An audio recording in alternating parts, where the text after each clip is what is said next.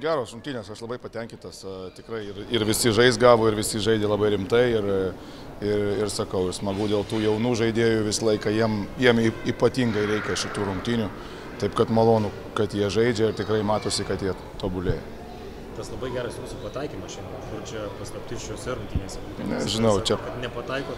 Apie pataikymą jokių paslapčių nėra. Čia jau ar pataikysi ar nepataikysi, žinote būna įvairiai. Svarbiausia susikurti metimus, ką ir padarėm, o jeigu pataikai iš vis smagu. Kalbant apie Dzukiją, nustebino šiandien ką nors, ar žaidė kaip visada?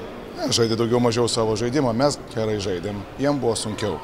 Sakau, vis tiek akcentavom į jų fizinį kietą krepšinį ir, ir, ir gerą kovą dėl atšokusių kamolių, taip kad su tuo susitvarkėm ir buvo lengviau, aišku, o sakau, o šiaip tai smagu, smagiausia šitose situacijose dėl jaunimo tikrai. Kalbant apie Pauliaus situaciją, kokia yra...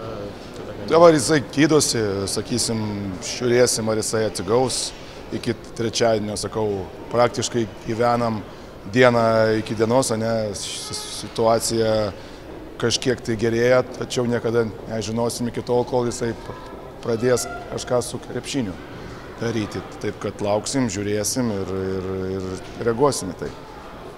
Šiandien išbandėte žaidimą su dviem vidurio paleisti. Kaip tai sekėsi? Buvo jau ne pirmas įkis, kada Antanas žaidžia ketvirtų numerių, žaidžia jis gerai, turi akivaizdų pranašumą ant, ant, ant tikrai ant to ant bloko ir, ir sakau, komandom yra sunku, tai yra viena iš opcijų.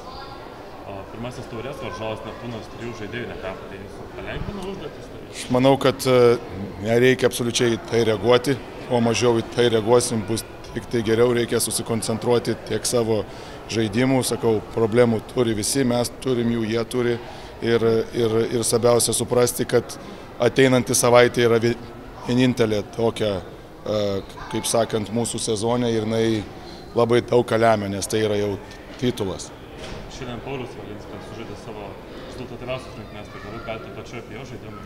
Ne, nu jisai, jisai, sakau, mes jį matom kiekvieną dieną, jisai tobulėja, jisai tikrai labai daug duoda mums treniruočio procese ir, ir sakau, šitie vyrai yra smagiausia, nes jie yra iš, iš mūsų sistemos.